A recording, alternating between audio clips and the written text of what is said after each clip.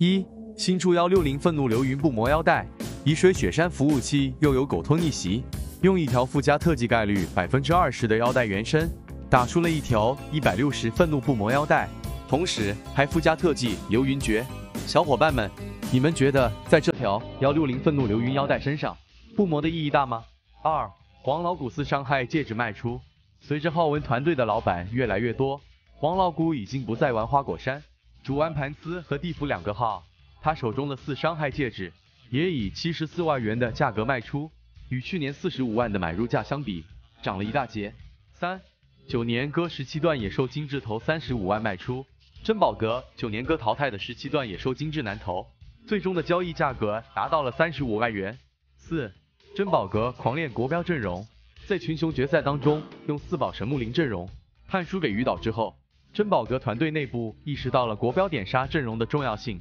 最近两次的剑会 PK，珍宝阁已经开始狂练国标点杀阵容，与之前的狮驼岭神木林二幺二阵容相比，胜率出现了明显下降。豪门服战队的善恶宝宝数量大增，使得出手有血量限制的大唐处境非常尴尬。五逆哥督战鱼岛剑会 PK，昨晚的幺七五剑会 PK 中，呆瓜和往常一样开启了第一视角直播。没想到，在打完与普陀山的比赛之后，匿名玩家直接给他发去了消息，点评了他在 PK 中的表现。